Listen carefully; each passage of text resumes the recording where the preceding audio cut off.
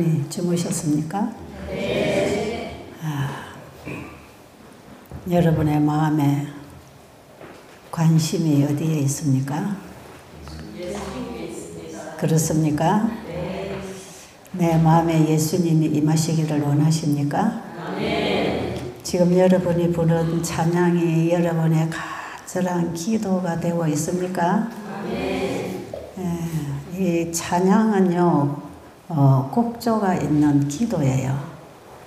오늘 아침에 부른 그 찬양이 우리의 마음에 예수님을 간절히 원하는 그 마음을 일으켜 주셨기를 간절히 바랍니다. 어, 성경 전체는 예수님 이야기입니다.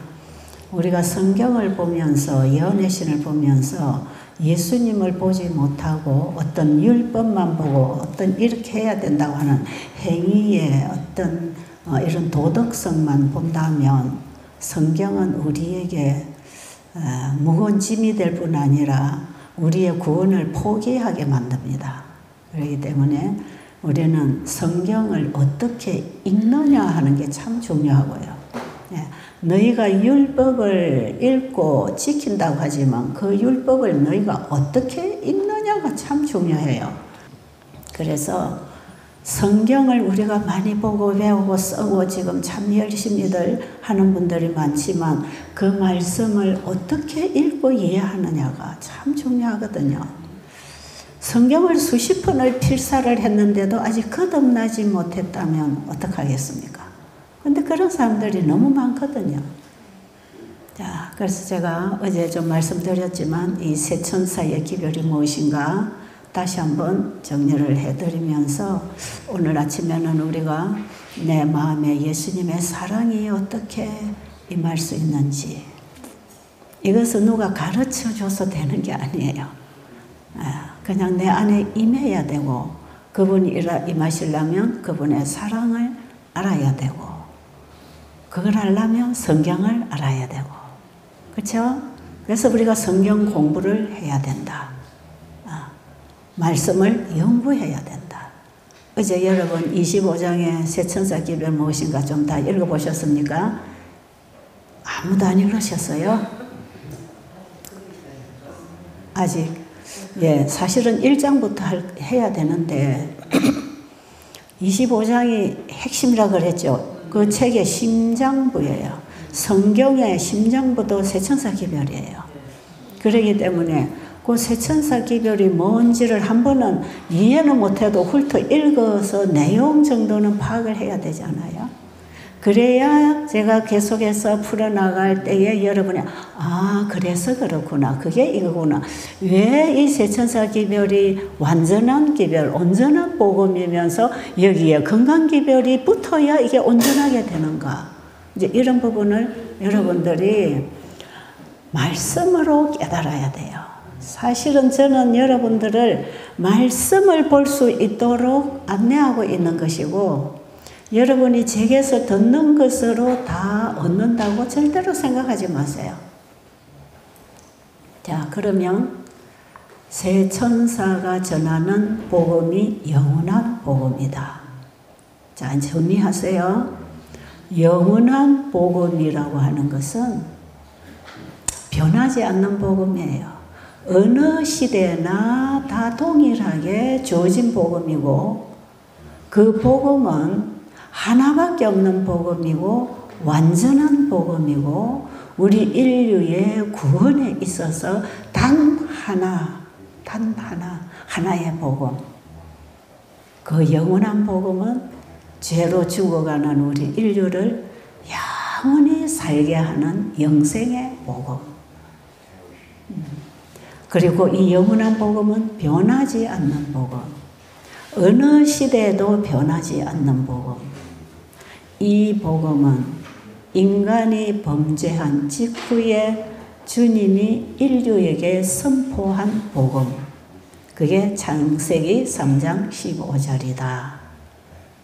성경 전체는 창세기 3장 15절을 시대마다 그때 그때 역사적으로 풀어서 그 시대에 전파되는 기별이다. 그래서 어느 시대나 적용되고 전해져야 할 복음이 영원한 복음이다. 그 영원한 복음은 예수 그리스도다. 로마서 16장 25절로 보면 사도 바울은 나의 복음과 내가 전파하는 기별은 영세 전부터 하나님 속에 감추어졌던 있던 비밀의 계시가 드러낸 바 된 예수 그리스도다. 바울은 분명하게 로마서를 기록하면서 마지막 요약을 하면서 그 복음이신 예수님이 나의 복음이다 이렇게 기록하고 있어요. 참 멋지지 않으세요? 예, 바울은 남이 설교하는 거 잘 배워가지고 듣고 설교 잘하는 사람이 아니었어요. 바울 속에는 예수님이 임하시고 사시고 일하셨어요. 그래서 내가 사는 것은 내가 사는 것이 아니라 예수 그리스도께서 사신다. 내가 하는 이 일의 능력은 그리스도의 사랑이 역사하는 능력이다. 그러니까 바울은 한순간도 내가 했다가 없습니다. 내 안에 계신 그리스도가 하셨다. 이것을 우리는 성경적 용어로 믿음으로 말미암는 의다 이렇게 합니다. 여러분이 믿음으로 말미암 의라 하는 주제는 상당히 무겁고 역겹고 어떻게 들어보면 식상한 너무나 많이 사용하고 들어왔던 정말 식상할 만큼 믿음으로 말미암 의의 공부는 했다 할지라도 이것이 하나의 이론 공부로 지식으로 끝났다면 나의 복음이 되지 못합니다. 예수님이 나의 복음이 되지 못합니다. 그런데 성경 전체의 책들이 요한계시록에서 다 만난다. 그리고 끝난다. 그러면 성경 전체의 얘기는 예수님과 사단 사이에 하늘에서 일어났던 전쟁의 진행이 이 땅에서 역사적으로 이루어져 왔고 선악의 대쟁투에 관한 얘기가 성경 전체의 얘기예요. 그러니까 사단이 인간을 미혹해서 선악과를 먹게 한 장본인이 사탄이었어요. 하나님이 하나님의 형상으로 창조하신 아담 하와에게 죄를 집어넣어서 죄의 독을 넣어서 죄의 감염이 되어서 죄의 정상을 나타내는 죄인이 되버렸을 때 주님은 거기서 사탄으로부터 죄로부터 이 백성을 분리시켜서 구원해서 다시 하나님의 자녀로 만들어 주려고 내가 가겠다. 그게 창세기 3장 15절의 복음이에요. 내가 네 머리를 깨기 위해서 여자의 후손으로 내가 가겠다. 여러분 이 땅에 태어난 인간들은 전부 남자의 씨를 받고 남자의 족보예요. 남자의 후손입니다. 근데 예수님은 남자로부터 씨를 받고 오신 인간이 아니에요. 여자를 통해서 태어나겠다고 하는 것은 남자의 씨가 여자의 몸에 들어가서 여자의 몸에서 나의 몸을 입습니다. 근데 나의 몸을 입혀주는 건 엄마의 자궁에서 입혀지지만 남편으로부터 남자의 씨가 들어온 것을 키워서 만들어서 출생시키는 거야. 그래서 예수님은 마리아가 요셉과 결혼은 했지, 아, 결혼을 하려고 약속은 정원한 상태지만 아직 결혼을 안 했기 때문에 부부 관계를 하지 않았어요. 처녀예요. 그 처녀에게 하나님의 말씀이 임합니다. 그렇죠? 하나님의 말씀에는 창조력이 있기 때문에 그 말씀을 주신 말씀을 받아들이면 받아들인 자 안에서 그 말씀이 뭐합니까? 잉태되고 생육 번성해서 자라나오는 것이에요. 씨앗이 땅 속에 들어가면 땅 속에서 땅에 있는 그 기운과 생명을 받아서 씨앗이 나무가 되어 나와서 꽃피고 열매 맺듯이 그 씨가 들어간 것과 똑같은 성질 모양이 나무로 나오듯이 그래서 똑같은 씨앗을 만들어내듯이 하나님의 말씀이 주어지는 곳에는 그 말씀하고 똑같은 일이 이루어지는데 이것이 창조 때에는 이 물질로 다 나온 게 이 세상이고요. 지금 죄로 점령당하고 죄의 종이 되어 있는 우리 인간에게 그 주님이 말씀으로 내 안에 임하시면 내 안에 새 생명이 하나 탄생하는데 그게 거듭나는 경험이다. 근데 마리아에게 마리아는 아버지의 씨를 받아서 엄마의 자궁을 통해서 태어난 우리와 똑같은 인간이에요. 그런데 마리아가 결혼을 해서 요셉과의 관계 속에 씨를 받아 태어난 아이는 전부 남자로부터 온 아이가 태어나잖아요. 근데 예수님은 남자로부터 씨를 받고 태어난 인간이 아니라는 것입니다. 그러니까 창세기 3장 25절에서 내가 여자의 후손으로 가겠다. 여자의 몸을 통해서 내가 인간으로 이 땅에 올 것이다.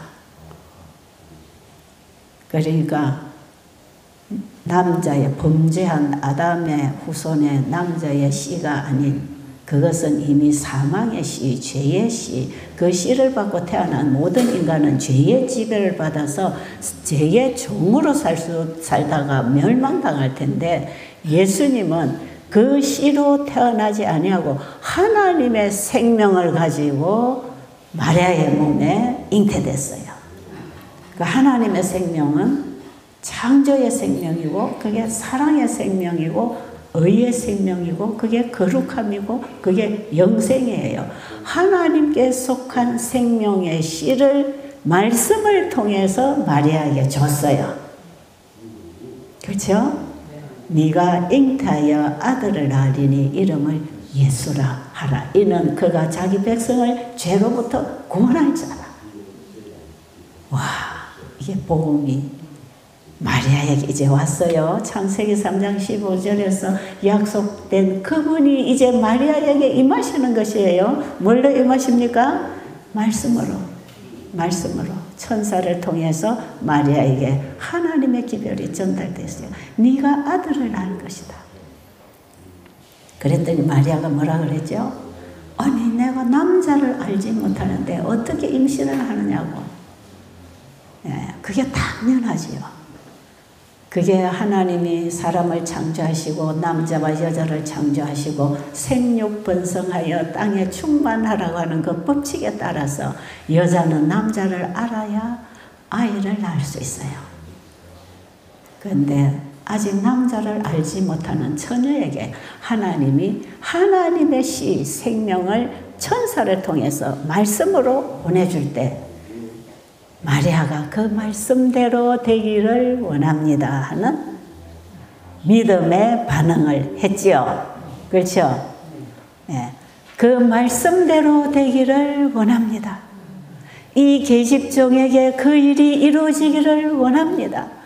예, 그렇게 하겠습니다. 그 말씀을 받아들일 때 마리아의 자궁 안에 예수의 씨가 들어온 것입니다.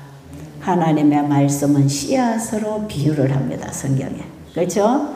씨는 하나님의 말씀이요.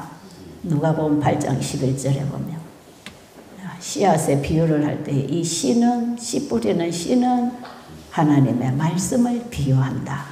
그래서 우리가 이 땅에서 보고 생활하는 모든 사물들 이것은 보이지 않은 세계를 이해할 수 있는 계시입니다. 계시. 하나님의 뜻을 열어주는 하늘의 비밀을 열어주는 계시가 이 천연계예요. 그래서 우리는 천연계의 이 작용과 이 천연계의 창조와 이 과정을 통해서 창조주를 배우고 내가 어떻게 구원을 받는가 하는 영생을 배우는 것이에요. 그래서 예수님은 마태복음 13장에 보면 이 천국 복음을 전하면서 전부 비유를 들어서 비유 비유 비유를 들어서 천국 복음을 다 전해잖아요. 그 마태복음 13장입니다. 그 마태복음 13장을 적나라하게 풀어서 설명해 놓은 책이 실물 교훈이에요. 실물 교훈은 비유를 통해서 진리를 배운다 이런 뜻이에요. 보이는 사물은 보이지 않는 사물과 연결된다 이런 뜻이에요. 자, 그래서 예수님을 마리아가 잉태했고 예수님은 성령의 잉태를 통하여 태어난 아이. 그래서 예수님을 성자라고 하는 것입니다. 성부와 성자와 성령. 예, 삼위 하나님을 우리가 말할 때요. 그래서 성자라고 하는 이름은요, 예수님에게만 붙는 이름입니다. 우리 인간은 아무리 신앙이 좋아도 성도입니다. 성도. 아십니까? 우리는 다 그리스도 안에서 만약에 거듭났다면 우리는 성도이지 성자가 아닙니다. 성자는 예수님이에요.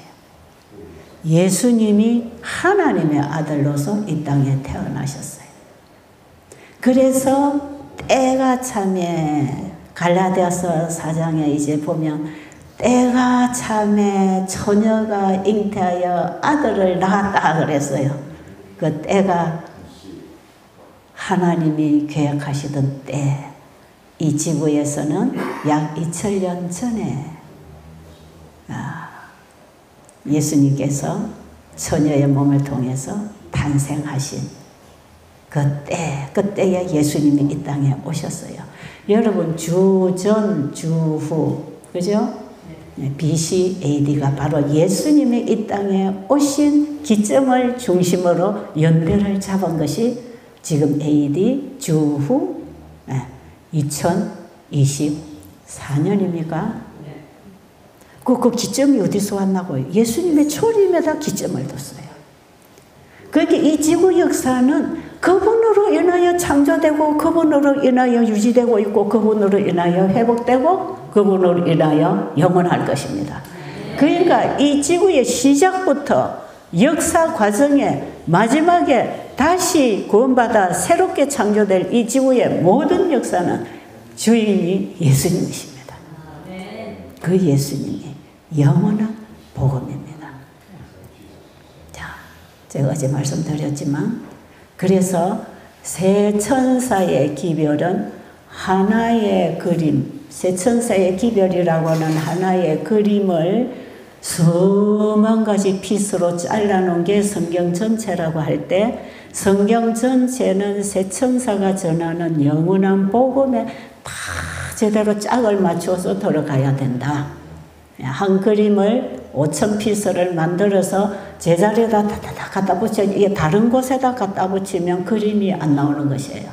제자리에다가 좀 piece를 다 갖다 붙여서 그림을 딱 표지에 있는 그림하고 piece가 맞추는 그림하고 똑같아야 완성된 그림인데 계시록 14장의 세천사의 기별은 성경 전체로 분리되어 있는 이런 한 구절 한 장씩 되어 있는 내용을 거기다가 세천사 기별에 다다다다다다 갖다 넣으면 이게 완전한 성경의 복음이 되는데 이 그림의 전체의 주인은 예수님의 얼굴이 나온다 이 말이에요.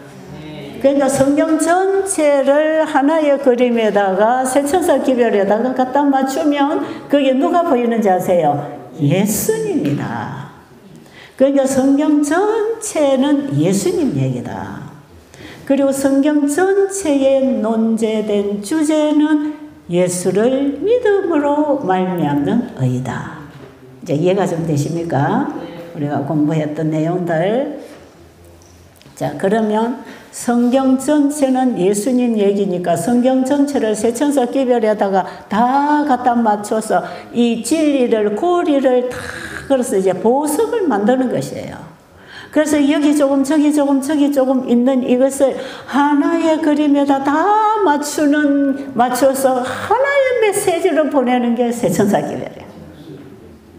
그러니까 세천사 기별 속에는 성경 전체가 연결되어 나오고 이것이 완전하게 연결된 하나의 복음으로 외칠 때 예수를 믿음으로 말미암는 의다. 그래서 와이프에게 사람들이 편지를 보냈어요. 여러 사람들이 나에게 편지를 보냈다. 믿음으로 말미암는 의가 셋째 천사의 기별입니까? 이런 질문이 왔어요. 그때 화이분이 뭐라 했댔죠? 믿음으로 말미암는 의는 진실로 셋째 천사의 기별이다. 여러분 성경 전체가 계시록 14장에서 만나지고 계시록 14장의 첫째 천사, 둘째 천사는 셋째 천사 기별에서 완전히 완성되고 이 셋째 천사 기별에서 확실하게 성경의 빛이 모아져서 하나님의 품성의 영광의 빛이 온 땅에 전파되기 위하여 연애신의 선물이 왔다. 이해하십니까? 우리가 보는 연애신 화이분이 쓴 글이 바로 그런 것이에요. 이미 이 글을 주실 거에 대해서 계시록 여러 부분에 예언이 되어 있는 겁니다. 재림운동 당시에 실, 실망했을 때에 다시 예언을 해야 된다고 말씀하신 게 요한계시록 11장 맞나요? 10장이죠? 10장인가요? 어쨌든 우리가 계시록을 연구를 하면 예언의 선물이 꼭 와야 되고 오게 돼 있어요. 자, 그러면 셋째 천사의 기별은 성경 전체의 복음이 다 만났으니까 완전한 복음입니다. 이제 여러분 거기 제가 책에 다 정리해 놨어요. 이거는 연애 신에서 여러분이 연구를 하려면 볼 수 있도록 저는 지금 말로 간단히 하지만 여러분 앞으로 공부를 하면서 아 그렇구나. 그걸 이제 깨닫게 되어야 하는데 이 세천사의 기별, 셋째 천사의 기별은 현대 진리로서 완전한 복음이고 완전한 사람을 만드는 진리고 완전한 복음 사업을 끝낼 사업이다. 그게 완전한 복음을 갖고 일을 해야 사람들의 신앙이 바로 되는 거 아니겠어요? 그래서 이 세제 천사의 기별을 완전한 복음으로 제시하기 위해서는 반드시 몸에 팔이 붙어야 된다. 지금까지 우리가 세천사기별, 세천사기별, 재림교회가 세천사기별 많이 전하고 알고 있다고 생각했지만 세천사기별이 뭡니까 하면 그걸 바르게 설명하는 사람 거의 보기 힘들어요. 여러분 자신도 아마 그럴 거예요. 어떤 분들 저를 보고 물어요. 세천사기별을 이해하려면 성경책, 연애신책 어디를 봐야 됩니까? 그래요. 어디를 봐야 딱 볼 수 있냐? 그래서 저는 다 봐야 된다 그랬어요. 성경 전체를 다 읽어야 된다. 그리고 연희씨도 다 이해를 해야 된다. 적어도 다 못 읽어도 거기에 맥은 찾아서 이해를 해야 돼. 복음을 이해해야 된다. 왜? 세천설기별은 영원한 복음이니까. 그래서 아마 여러분도 저에게 그런 질문을 할 분들이 여기 계실 것이다, 이 말이죠. 지금 우리 여기는 얼마 모이지 않았지만 이 방송을 통해서 바깥에서 듣는 음, 참가자들이 너무 많기 때문에 지금 이 기별은 대단히 중요한 메시지로 오늘날 이 세상에 전파되어야 됩니다. 여러분, 세천사의 기별은 영원한 복음이기 때문에 성경 한 구절 한 구절 속에 다 묻어 있다. 다 묻어 있다. 그래서 이걸 하나의 복음으로 현대 진리로 외침으로 딱 외쳐야 되도록 모아준 것이 세천사의 기별이라. 근데 세천사의 기별을 전하는 세천사들은 영원한 복음을 가졌더라. 예수님을 영접한 사람. 예수 안에 있는 진리로 가르침을 받고 순종해서 그 삶 속에서 예수님과 함께 살아온 삶의 열매가 맺혀서 자기 신앙을 간증할 수 있는 사람. 그래서 셋째 천사의 기별은 감정으로 맺혀집니다. 이게 이론적으로 공부하는 게 아니에요. 이 예수님의 재림을 맞이할 백성들은 자기 복음을 가져야 됩니다. 예수님을 가져야 되잖아요. 예수님 가지지 않았는데 교회만 열심히 다니고 지식으로 많이 안다고 하늘에 가는 건 아니거든요. 여러분 이번 기회를 통해서 여러분 속에 예수님이 임재하시는 거듭남의 경험이 일어나도록 자신을 주님께 여세요. 주님은 지금도 이 기회를 통해서 라오디게아 교회 문을 두드리고 계신다는 걸 아시고 나는 다 알고 있어요. 나는 하고 있어요. 나는 신앙을 못해 신앙으로 난 열심히 하고 있어요. 나는 착해요. 그거 믿지 마시고 지금 이 말씀에서 예수님이 여러분의 마음의 문을 두드리신다며 열어드리세요. 열어드리세요. 예수님은 내 마음에 임하시기 위해서 부활하셨습니다. 2000년 전에 이 땅에 계실 때는 우리 중에 계셨지만, 사람들 중에 계셨지만, 그분이 육신으로 죽으시고 영으로 부활하셨을 때에는 믿는 자의 마음 속에 우리와 함께 하십니다. 그게 임마누엘 하시는 거예요. 지금 우리는 예수님을 내 마음에 영접해서 예수님과 하나가 되어야 됩니다. 그래야 성령의 경험이 있고 진리를 알고 그분의 사랑을 아는 경험이 있어서 그분의 사랑을 전할 수 있는 것이에요. 우리가 새 천사 기별을 전하는 의로 선교사가 된다는 것은 내가 먼저 전할 복음을 나의 복음으로 만나고 이 복음을 전하기 위해서 병들고 고통당하는 영혼들을 찾아가서 건강 문제로부터 영원한 영생 문제까지를 가르쳐서 그들도 함께 구원을 받도록 하는 일을 하는 사람들이 세천사 의료 선교사들입니다. 그 예수님을 영접했다. 예수님을 만났다 하는 게 뭔가? 뭐 어떤 기독교인들은 기도원에 가서 기도했더니 눈앞에 불이 번덕번덕 나타났다. 또 어떤 사람들은 뭐 내가 열심히 기도하는데 덩어리를 다 따뜻한 손이 와서 만져줬다. 어떤 사람은 꿈에 하얀 옷을 입은 하나님을 봤다. 그런 간증을 주로 해요. 그리고는 그게 하나님 만난 경험이라고 감정들을 많이 해요. 여러분, 그것은요, 꿈을 꾸었든지 환상을 봤든지 할 수 있는 일이에요. 사단도 와서 얼마든지 하나님 보여달라 기도할 때 덩어리에 와서 따끈하게 해줄 수 있단 말이에요. 거기 속지 말라 이 말이에요. 우리는 말씀 외에 속으면 안 됩니다. 예수님은 원래 말씀이셨고 지금도 우리에게 말씀으로 오십니다. 그 말씀으로 말씀하십니다. 그 말씀을 받아들인 자는 그 말씀에 순종하기 때문에 예수님 따라가는 것이지 꿈꾸고 환상 보고 소리 들어가지고 그 소리 듣고 자기 생각 가지고 따라 사는 게 아니에요. 어떤 사람들은 기도할 때 이런 생각이 들어왔다. 이걸 하나님의 생각으로 착각하는 사람들이 있는데 그것도 아니에요.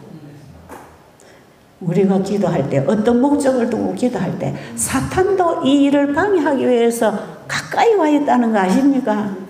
그리고 우리 생각을 사탄이 지배한다는 존재라는 걸 아십니까? 우리는 내 생각도 믿으면 안 돼요. 말씀만 믿어야 합니다. 말씀이 진리고 말씀이 예수님입니다. 그 말씀을 떠나서 우리는 진리를 찾을 수 없고요. 진리를 점점 깨달아 알아갈수록 예수님에 대한 사랑이 더 확실해지고 커집니다. 그렇죠? 그래서 우리는 그 예수님, 그 예수님을 내 마음에 영접하는 첫사랑의 경험, 처음 거듭나는 그 경험, 거기에 내 자아가 온전히 굴복, 굴복되고 순종이 이루어지는 것이에요. 예수님의 십자가의 사랑을 머리로는 알았는데 내 자아가 굴복이 되지 않는다면 그것은 이론입니다. 여러분 이번 기간에 내 신앙 이대로 괜찮은가? 이거 신중하게 우리 좀 챙겨봐야 됩니다. 내가 지금까지 신앙을 해왔는데 이거 바로 하고 있는가? 내가 바로 가고 있는가? 새 천사의 기별은 우리의 신앙을 바로 세워주는 기별이에요. 이 믿음으로 말미암는 의의 기별을 우리가 연구하고 깨닫고 경험으로 알아가면 모든 오류의 쓰레기를 밀어내고 가는 것이에요. 그렇다면 이게 바로 진리의 길이고 하늘 가는 길이에요. 그래서 이 세천사 기별의 이 복음을 알아야 돼요. 그 예수님의 사랑을 알면 우리 자아가 그분 앞에 굴복됩니다. 제가 한 예화를 말씀드릴게요. 미국의 남북전쟁이 왜 일어났는지 아시죠? 거기에는 노예 제도를 두고 어, 남북으로부터 서로 지도자들의 예, 갈등이 있는 가운데 링컨이 노예 제도를 해방시켜준 그 사건이 바로 거기서부터 시작이 되잖아요. 그 노예가 그 당시에 미국의 노예들이 해방되기 전 노예들의 삶이 얼마나 비참했는지. 저는 옛날에 그 쿤타 킨텐가 뭐 그거 우리 영화 하나 있었잖아요. 뿌리 뿌리 맞아. 그 주인공이 그러고 뿌리라는 참 오래됐어. 근데 어떻게 그거는 희미하게 지금 조금 기억하는 그걸 보면은 미국 사회에서 이 노예들 흑인들이 얼마나 고통을 당했는지 몰라요. 근데 링컨이 해방을 시켜놓은 다음에 지금에 와서는 흑인이 대통령도 되잖아요. 그렇죠? 이 노예 해방 운동하고요.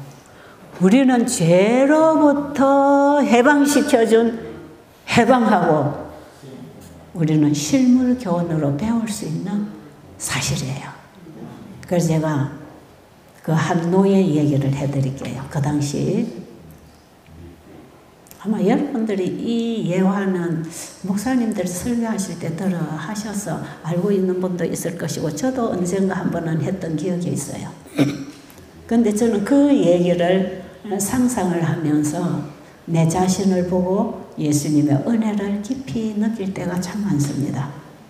그게 뭐냐면 어떤 노예가 이제 남의 집에 평생 노예를 하고 살아야 된다는 것이 너무 싫었어요.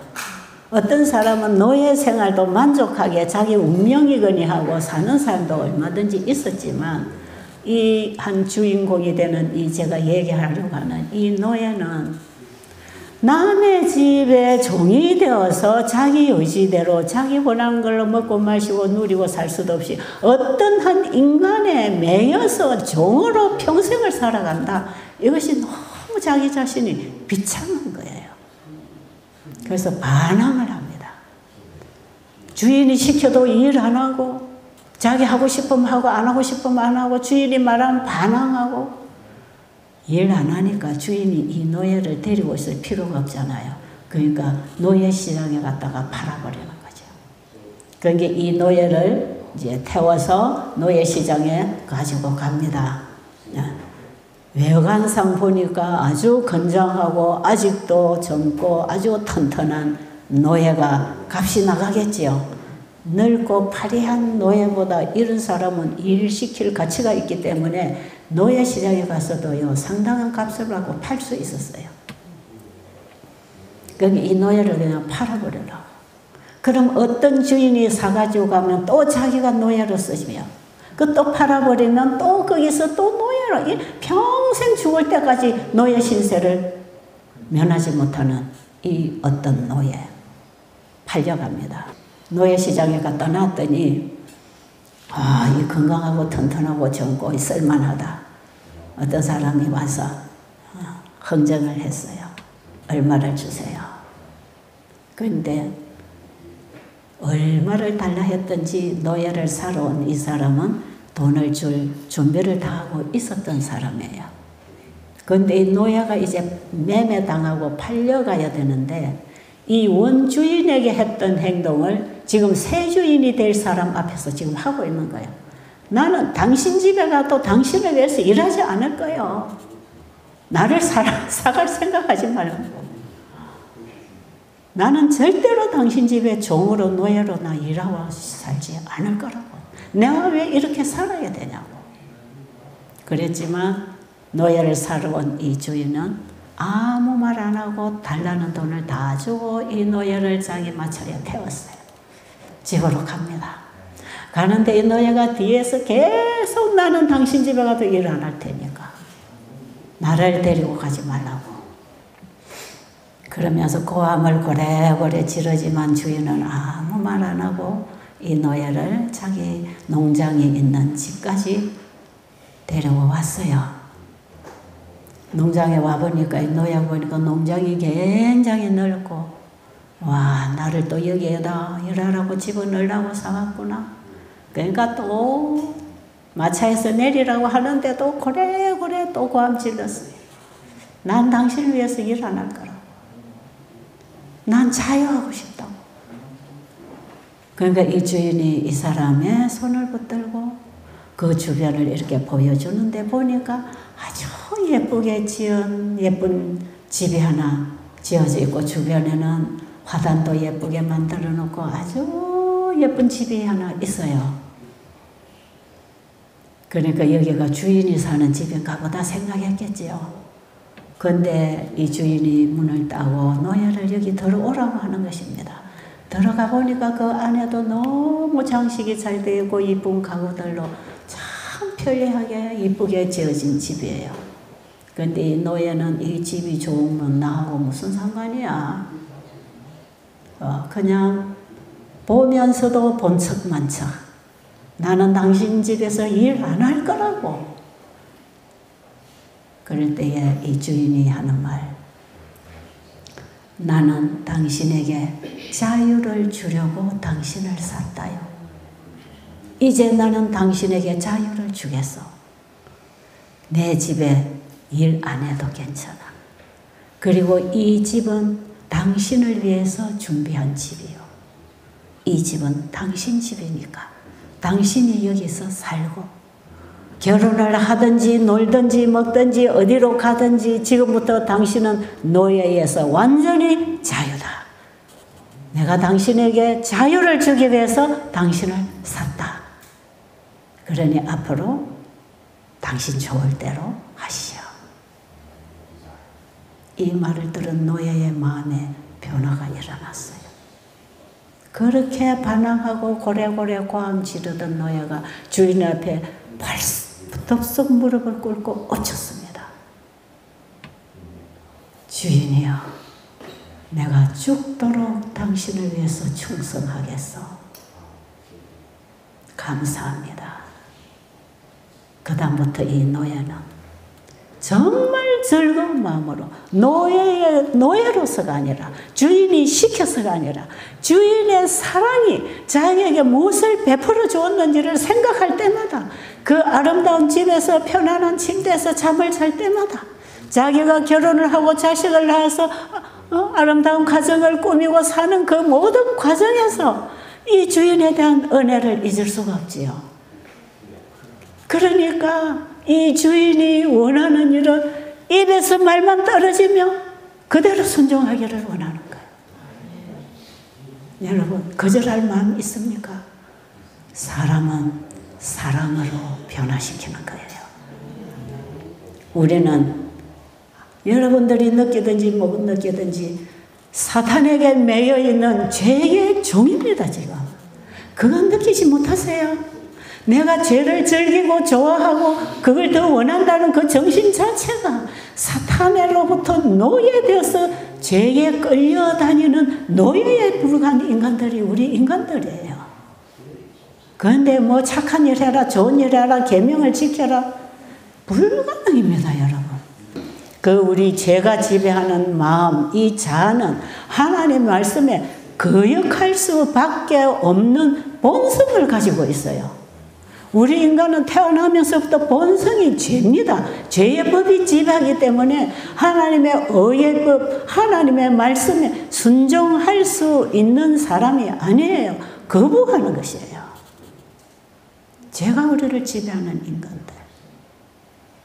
이런 우리에게 하나님의 사랑이 왔잖아요. 하나님을 사랑하지 않은 죄인들에게 하나님의 사랑이 독생자 아들을 통해서 우리에게 왔다면 예수님의 십자가가 나 같은 죄인을 위하여 대신 죽으시는 희생 제물이 되셨다는 걸 여러분이 정말 안다면 그 예수님을 통해서 우리에게 베풀어 주신 자유와 영원한 하늘 집이 나를 위해서 준비되어 있다는 것을 안다면 우리가 그분에게 충성하지 않을 수 있습니까? 여러분, 내가 주님 뜻대로 살겠습니다. 내가 의료 선 교사 되겠습니다. 해서 뭐 배우고 조금 내가 해보려고 생각하지 마시고 의료 선교사가 되는 첫째 차질은 거듭나는 경험이다. 이 거듭나지 않고 예수님을 나의 복음으로 가지지 않으면서 의료 선교한다고 쫓아다니면 전부 건강기별 가지고 영업하게 돼 있어요. 복음은 제쳐놓고 영업한단 말이에요. 이래서 이 마지막 기별이 무시당하고 하나님이 수치를 당하신답니다. 이 의료 성교는 하늘이 관한 거룩한 사업이다. 그래서 예수님을 통해서 우리에게 본을 보여주신 것이에요. 하나님이 자기 아들을 이 세상에 의로 선교사로 보내신 것처럼 예수님을 우리 안에 영접한 사람을 우리를 의로 선교사로 보내시기를 원하신다. 하나님의 아들을 이 땅에 보내서 병들어 죽어가는 죄인들을 위해서 희생 제물이 되시고 그들을 구원하는 일을 하셨던 것처럼 예수님을 받아들이고 예수님이 나의 복음으로 영원한 복음을 가지고 있는 이 사람들을 의로 선교사로 나가기를 원하신다. 누가요? 우리 하나님께서 아들을 이 땅에 선교사로 보내신 그분은 우리로 하여금 온 세상에 의로 선교사로 나가게 나가기를 원하신다. 여러분 그분의 말씀에 반응하지 않으시겠습니까? 진정으로 주님이 나의 죽음을 대신해서 나의 죽음의 죄값을 지불하고 사단의 손에서부터 나를 구해내셔서 나에게 자유를 주신 걸 안다면 그 자유가 나에게 영원한 하늘이라면 그분에게 충성하지 않겠습니까? 저는 이 노예의 그, 그 심정, 그 주인이 노예를, 노예로부터 풀어주고 자유를 줬을 때에 그 노예의 가슴에서 그 주인에 대한 어떤 존경심과 사랑하는 마음이 일어났을까? 저는 그것을 깊이 좀 공감하면서 느끼기를 원해요.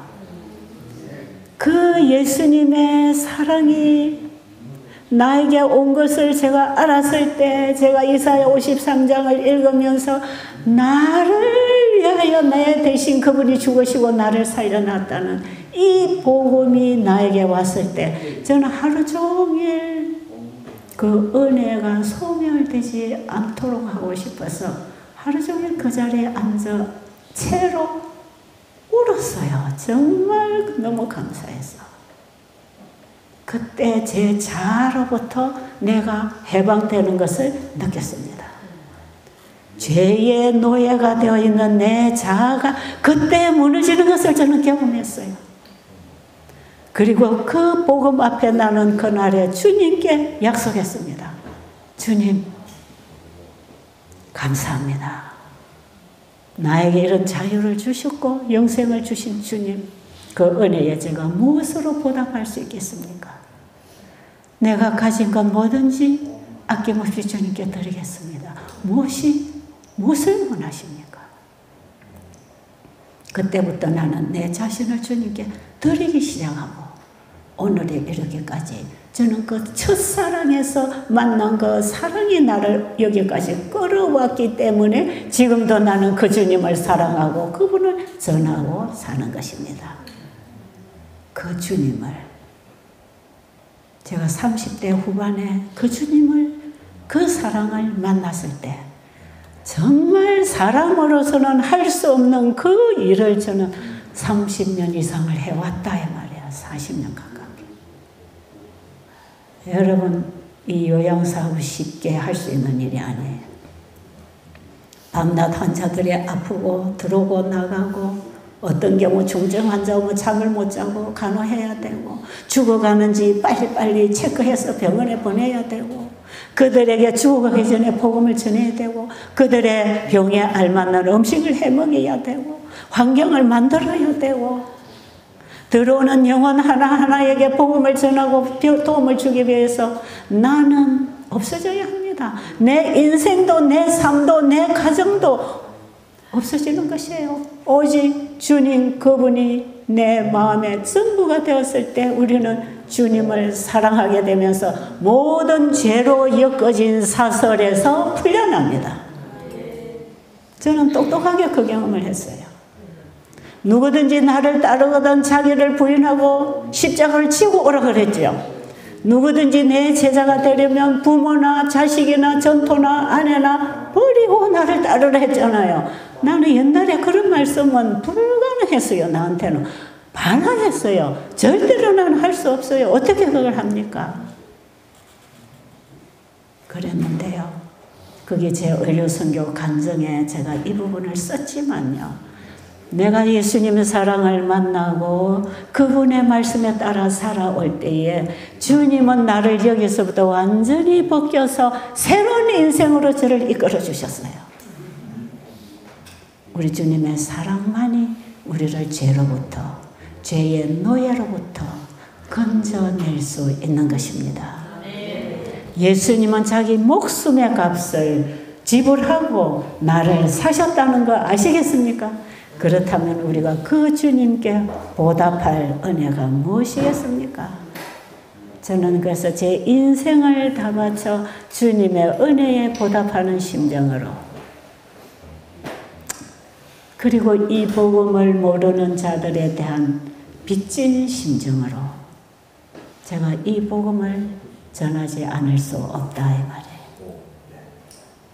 여러분 가슴 속에 그 예수님의 사랑이 움틀거린다면 여러분이 할 일은 딱 한 가지 새 천사 기별을 전하는 의료 선교사가 되는 것입니다.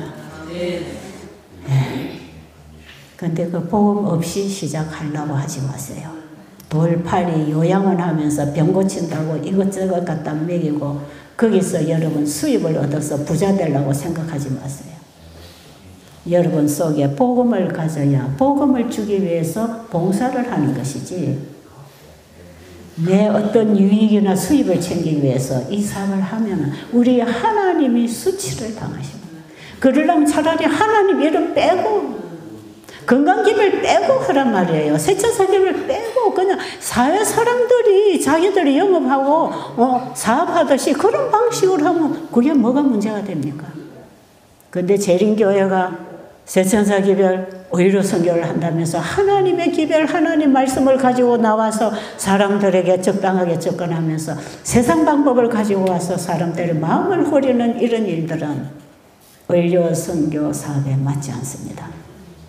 여러분의 이 집회를 시작하는 이 첫날로부터 여러분들은 내가 의료 선교사가 되겠다고 결심하고 오셨다면 우리에게는 먼저 예수님이 필요하다. 그걸 아시게 되기를 간절히 바랍니다. 기도드리고 마치겠습니다. 살아계신 아버지, 영원한 죄의 노예로 살다가 질질질질 죄에 끌려다니다가 영원한 멸망에 빠져갈 뻔한 저희를 죄값을 지불하기 위하여 예수님이 오셨고 십자가에서 죄의 값을 지불하시는 그 죄값이 주님의 생명이었다는 것을 알았습니다. 그 사랑으로 우리가 죄로부터 자유하도록 해주셨다는 이 사실을 믿을진데 우리는 오늘부터 자로부터 자유할 것입니다. 사랑하는 예수님, 우리를 죄로부터 지금 끌어내 주시옵소서. 예수님 이름으로 간절히 기도드립니다.